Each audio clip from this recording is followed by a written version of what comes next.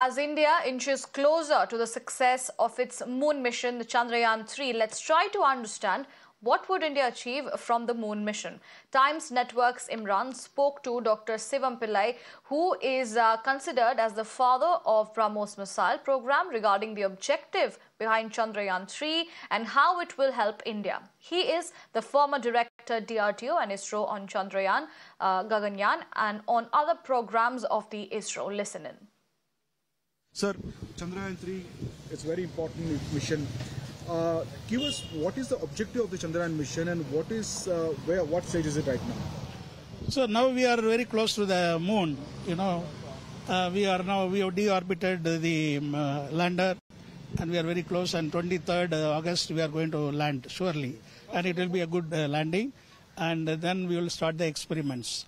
So through the rover we are trying to find out uh, the uh, one is the mineral analysis. What are the minerals available? What are the metal parts available? This one analysis. Second thing is the uh, surface. What type of uh, surface it has got? Uh, what are the um, uh, effects of the surface? The undulations, and not only that, that the gravitation, all the measurements of the um, land that will also be studied by the rover. So we have got number of instruments, four instruments in the both lander and uh, rover together, and also the orbiting um, uh, the propulsion module that also is doing a lot of measurements.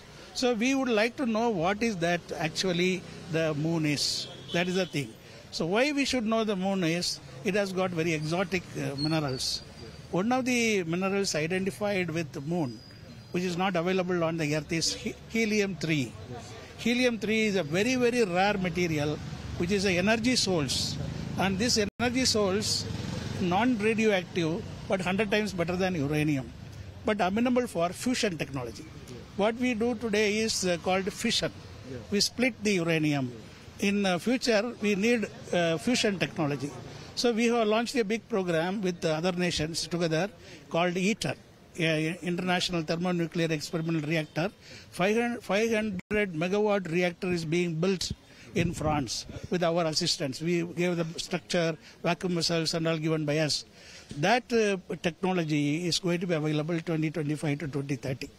So once you master the fusion technology and once you have the helium 3 mined from the moon and brought here, you get the energy, very big energy you get. That is the idea of the moon. So the landing will also increase our capability in the in terms of elite nations. Three countries have done. Fourth, will you think that this landing will help in further? Uh, you know, India can also colonize it, moon, some part of moon sometime.